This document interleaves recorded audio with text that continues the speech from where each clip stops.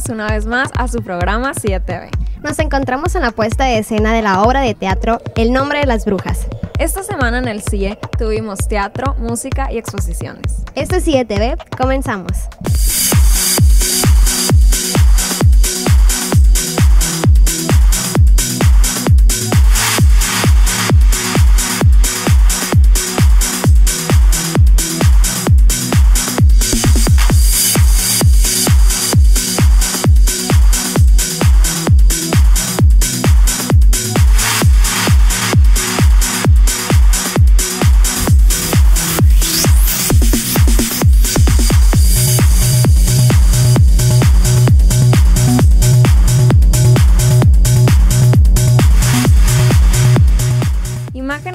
Naturaleza, vida silvestre e historia se encuentran en la exposición de fotografía de Arturo Villaseñor.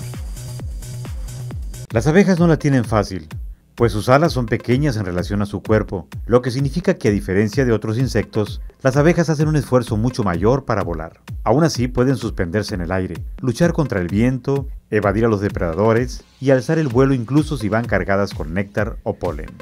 Las abejas baten sus alas en arcos breves, de alrededor de 90 grados, de modo que tienen que compensar con velocidad hasta 240 batidas por segundo, casi lo doble de lo que se esperaría considerando su tamaño. De eso se pudo maravillar Arturo Villaseñor Atwood, el historiador, fotógrafo, arquitecto, promotor incansable del arte visual a través de sus imágenes. Las abejas están en la exposición fotográfica Gracias a la vida. Este breve recorrido por los sonidos, las palabras y las imágenes que sugiere la exposición fotográfica de Villaseñor nos lleva a una mirada innovadora a través de ejercicios literarios, de conceptos elegidos al azar. En esta ocasión, con el concepto de Alzheimer y de la amígdala en el cerebro, quisimos retratar la historia de la exposición fotográfica. Los temas de la fotografía son disímiles, diversos y contrastantes. Van desde la frágil estructura de una araña hasta las enormes y grandes rocas que se erigen en la gran sierra de Chihuahua. La fotografía sugiere olores, flores con el tinte de brillantes colores para ser cortejadas por colibríes en impresionantes vuelos, para llevarnos a la intimidad de los nidos donde se gestan los primeros titubeos de las aves. Es bueno escuchar a quienes hacen la visita a la exposición para saber cuáles son sus impresiones.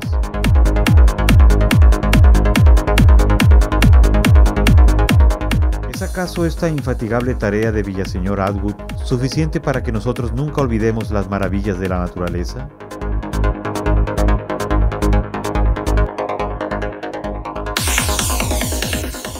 Pero Villaseñor sabe con certeza de que aquello que ha fotografiado es una manera de invitarnos a detenernos un momento a contemplar lo que la vida nos ofrece. Viaje Villaseñor ha sabido impregnar a los seres que lo rodean de su amor por las historias, por los libros que ha escrito, por los relatos del pasado, para descubrir las torres que son vestigios de antiguas haciendas donde se producía azúcar, hasta viajar a aquellos lugares donde están los petróleos. En la exposición pudimos conocer de viva voz de una excelente fotógrafa su visión de las imágenes de Villaseñor. Fíjate que a mí lo que me ha gustado mucho es que aparte de que el objetivo principal de la fotografía es muy obvio, la- el background, lo que está atrás, lo que está atrás, está muy bien colocado. Eso me ha gustado mucho de esta exposición. Fíjate que a mí lo que me transmiten es amor por México, amor por nuestro país, Y en este recorrido por la exposición Gracias a la vida, esperamos haber tenido un grato sabor de imágenes y una experiencia rica de lo grato que es vivir. Recuerden visitar la exposición fotográfica en el Centro de Innovación y Educación. El grupo Espiral, con un proyecto instrumental de guitarra y violín, estuvo en el Centro de Innovación y Educación. Veámoslo.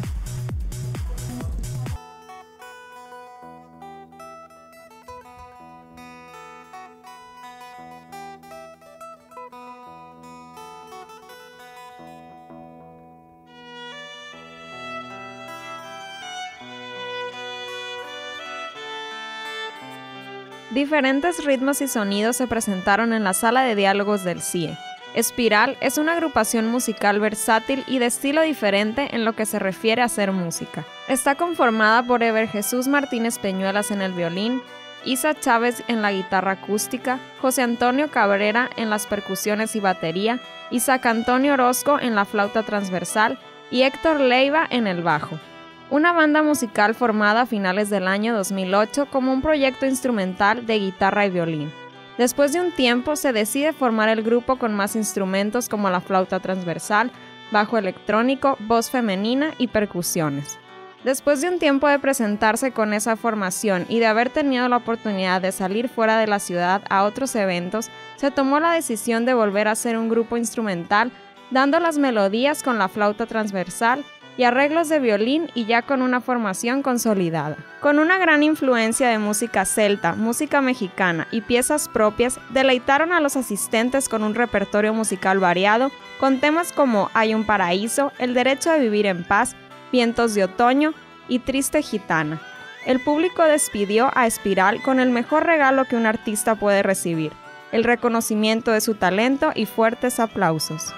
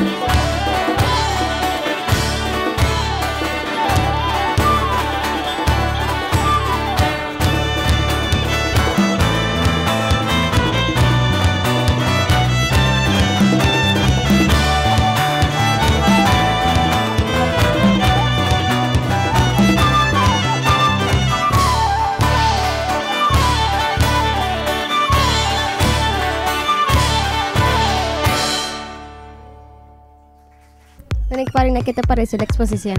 Pues la verdad me gustó mucho que el autor toca muchos temas de la vida, por ejemplo la naturaleza, algunos lugares que él ha visitado, eh, muchos rostros que le han impactado, me imagino yo.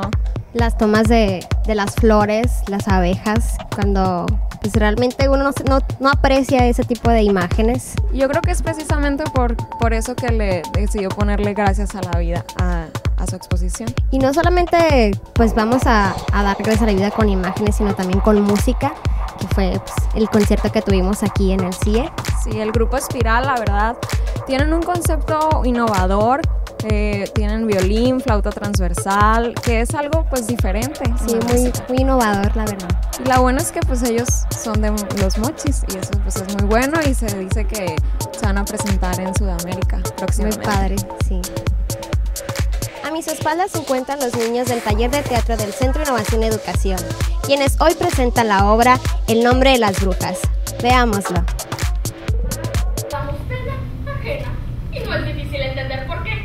Nuestro problema es la ley, ¿verdad, chicas? El grupo de teatro Tapiche con Sabor Caña presentó la obra de teatro infantil En el nombre de las brujas. La puesta en escena es el resultado de los trabajos realizados durante dos meses en el taller de teatro que se realiza en el Centro de Innovación y Educación y es coordinado por el maestro Eliazar Sánchez Aragón. Que habla sobre los males que hay en el mundo, una forma de, de desaparecerlos, una forma mágica por medio de unas brujitas aunque realmente no es la manera de, que se puedan erradicar. Es un tema que es muy apto para niños, para todo público, porque es, universal, es muy hermoso. La obra de teatro fue realizada con mucho profesionalismo, dado que en la escenificación se logra el equilibrio de los actores en cada una de las secuencias escénicas. Los actores, aun cuando son principiantes y están desarrollando su primer trabajo actoral, logran envolverlos en una atmósfera mágica, a través de ventilar facialmente expresiones de credibilidad y creencia escénica, y en todo momento les creemos que son pequeñas brujas que están en un lugar misterioso. Estos aciertos aunados a la excelente escenografía y el montaje de los movimientos de cada uno de los actores logran que durante el trayecto de la puesta en escena los espectadores conecten en uno de los aspectos fundamentales del quehacer escénico que consiste en generar la convención público-actor. Las niñas y los niños que participan en la obra demuestran lo aprendido en el taller, en el manejo de una vocalización con gran aliento, además de lograr matizar y crear con acierto cada uno de los personajes un niño no ocupa gran cosa, el niño ya lo trae natural, la actuación, el niño ya trae dentro de sí esas ganas de subirse a un escenario, solamente hay que enseñar la técnica adecuada, pero la energía, la espontaneidad y la naturalidad ya la trae por sí.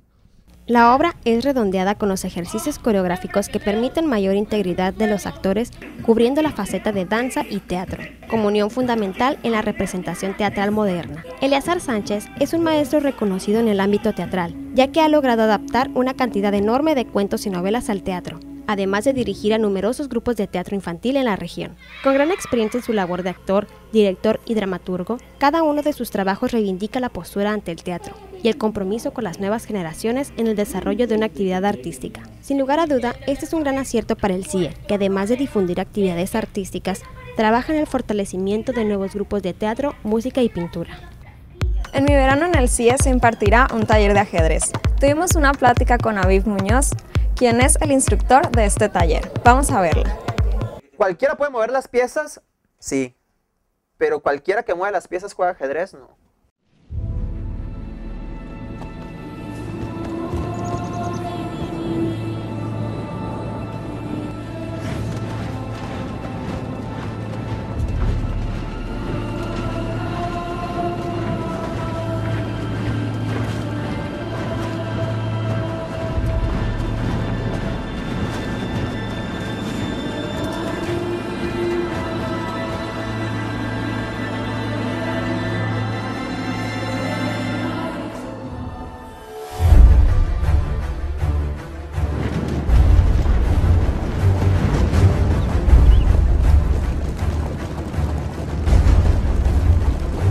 Representa o es como la representación de una batalla. Cada pieza de ajedrez simboliza a alguien dentro de la guerra. Los peones, por ejemplo, son los soldados rasos, las torres son las fortalezas, los caballos de la caballería, el alfil es el credo, religión.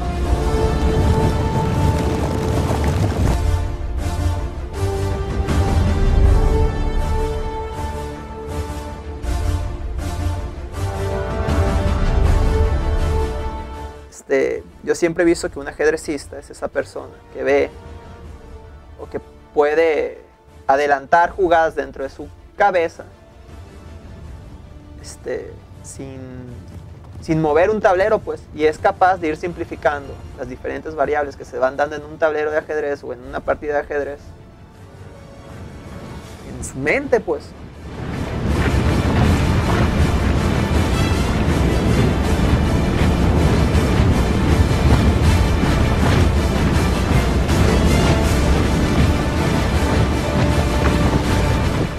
20 movidas son las que puede hacer el- los blancos, por ejemplo, las piezas blancas. Y después las negras pueden responder con 20 movidas. Pero conforme vas haciendo una movida, se van haciendo infinitas el número de posibilidades. pues. Vas abriendo más y más posibilidades y más posibilidades y son cada vez más, más movimientos.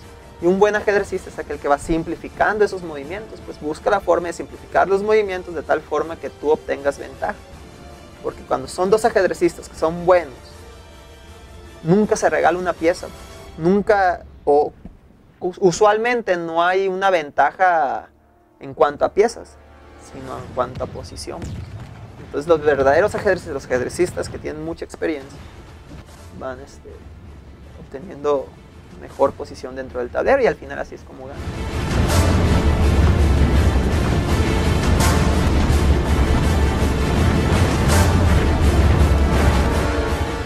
Entonces les hablo un poquito de eso, de la forma de, de- de pensar en el ajedrez, les empiezo a mostrar cómo se mueven las piezas, desde las más básicas como el, el peón como el rey, después hay unas que son un poquito más complicadas como el caballo, que es de las piezas que más se les complica, algunos movimientos especiales o algunas reglas especiales que hay en el ajedrez, como es el enroque, por ejemplo, que es un movimiento del rey. Este, les enseño el hay una jugada dentro del ajedrez que se llama el peón al paso o al pasante. Y les platico un poco también sobre eso, cuándo es, cuándo no es. Este, les ayudo un poco a razonar como ajedrecistas. Pues. Al final de cuentas el ajedrez son problemas, pues, igual que las matemáticas son problemas. Y en el problema del ajedrez, pues uno busca soluciones. Y así como en una ecuación, por ejemplo, pueden haber si hay un orden para resolver esa ecuación, pero puedes seguir a lo mejor diferentes pasos para resolver esa ecuación, pues es lo mismo en el ajedrez. El primer torneo al que entré fue uno del debate. Fue uno del debate y quedé en quinto lugar, pero solam- eran, son cinco partidas y solamente perdí uno y empaté el otro. Entonces yo nunca me había medido contra otras personas más que contra amigos. pues, Siempre había juego contra amigos. Y llegué y jugué pues me sentí muy bien, pues porque me daba cuenta que, que, sí tenía nivel, pues yo pensaba que estaba en, el- los suelos. Quedé en quinto lugar y ahí para, para adelante este, empecé a entrar a torneos y torneos. Después entré a, el siguiente torneo fue el del deba, el de en la ETI, cuando estudiaba en la ETI. Ese torneo creo que quedé en primero o en segundo, no me acuerdo si lo gané o no, pero quedé en primero o en segundo. Fue un regional, el regional lo gané. Y ahí ya empecé a ir a estatales, estatales, este, gané estatales, me tocó ir a nacionales. Ahí quedé como en el lugar 12, 13. Siempre he sido bueno para la escuela, para todas las materias, excepto química. Química siempre fue mi coco. Siempre, siempre química fue mi coco. Y cuando estudiaba en una conocida preparatoria de los mochis, pues ocupaba una calificación, no me acuerdo si era 7 u 8 para pasar la, la materia. Y habían otros por ahí también que ya la habían pasado y otros también que ahí andaban tronando. Entonces el maestro jugaba ajedrez. Y este. Pues le aposté mi calificación. Entonces dijo, sí, pero si repruebas tú, les voy a poner tal calificación a estos de tu salón también. Y pues sí gané y pasé química. Química 3.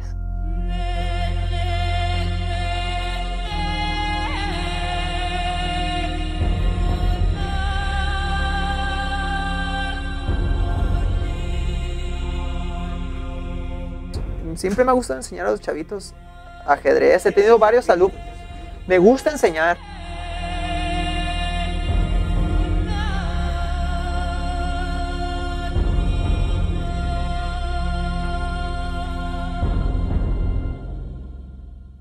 Más de 30 niños que vienen desde la sierra conocerán por primera vez la ciudad de los mochis, el mar y el CIE.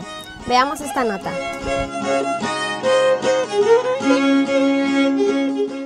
Contribuyendo con los programas que fortalecen la responsabilidad social, el Centro de Innovación y Educación recibió a 30 niñas de la comunidad de Tarahumaras que se asientan en la región de Norogachi, lugar ubicado a 7 horas de la conocida población de Krill en la Sierra de Chihuahua. Los niños de Norogachi, que viven en un internado, culminaron sus estudios de primaria y como estímulo viajaron a la ciudad de Los Mochis, con el apoyo de la congregación marista y la contribución de múltiples empresas de la localidad que colaboraron de manera altruista para hacer realidad el sueño de los niños de conocer por primera vez el mar. Proyecto Playa, Playa porque ellos están en la sierra, su ambiente es el árboles, pinos, o sea, no, no, están en medio de una nada para nosotros ellos quieren conocer algo diferente. Entonces se vienen a conocer la playa, no conocen la playa, de las 30 niñas que vienen, solamente dos conocen la playa y dos habían salido a una ciudad. 28 pues salen a la ciudad, conocen la playa, tienen la experiencia de subirse a una lancha, de sentir el agua del mar, de bañarse en el agua del mar, de ver el delfín, ver el pescadote, como dicen ellas, el pescadote grande. Ese, ese es el, el, porqué del nombre, Proyecto Playa, venir y conocer esta parte de, de su mundo, de su tierra.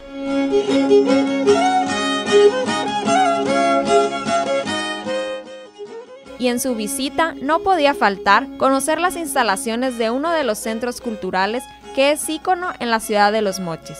Visitaron el Centro de Innovación y Educación para sorprenderse y maravillarse ante el espectáculo que representa el Festival del Juguete Papalote Museo del Niño. Convivieron con los jóvenes que realizan prácticas de elaboración de juguetes y dinámicas para interiorizar y conocer la inmensa variedad de juguetes que existen en la República Mexicana los niños tarahumara pudieron conocer la exposición con más de 800 juguetes y darse cuenta que son elaborados con muchos de los materiales que quizás ellos también utilizan para fabricar los suyos. Además, en el CIE se trasladaron al Salón de la Ciencia, donde descubrieron los adelantos que existen en un espacio diseñado con la más alta tecnología, imágenes virtuales llenas de color que pocas veces pueden admirar en los lugares remotos donde cohabitan cotidianamente.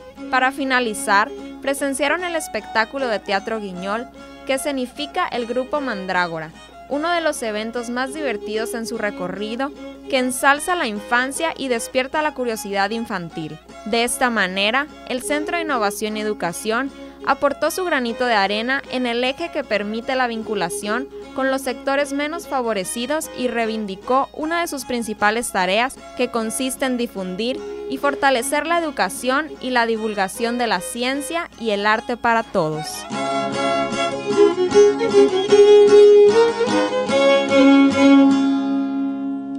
Acompáñennos a ver el resumen de lo que ha sido el programa 7B.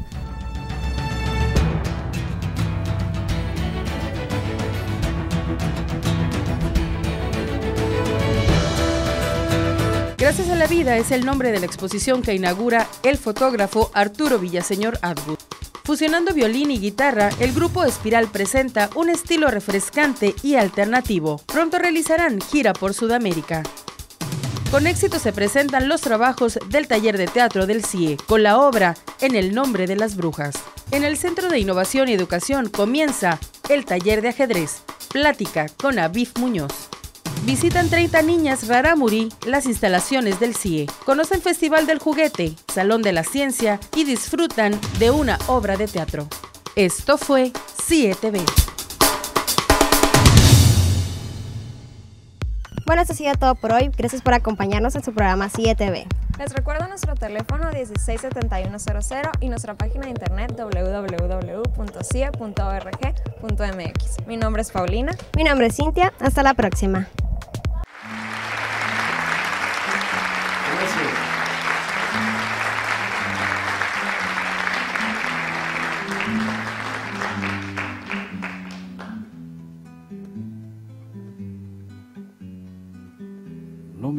Tu fusil ni el cañón de tu enemigo. Dos males no significan un bien en ningún sentido. No sé leer ni sé escribir, pero atención, yo sé de mí, de mí. Yo sé de mí, yo sé de mí, y de Tandil yo sé qué más pedir. Yo no vendo, yo no compro, yo no cambio, yo no estorbo, yo no presto, yo no escondo por eso soy feliz.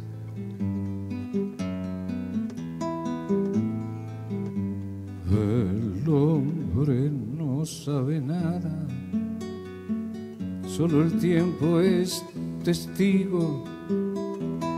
El hombre solo camina, el tiempo es el camino. Nunca pensé a dónde voy, pero atención, sé dónde estoy, sé dónde estoy, sé dónde estoy, conozco al sol y una canción.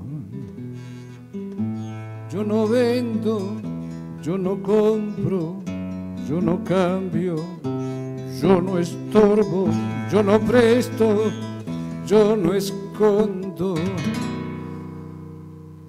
Y por eso soy feliz.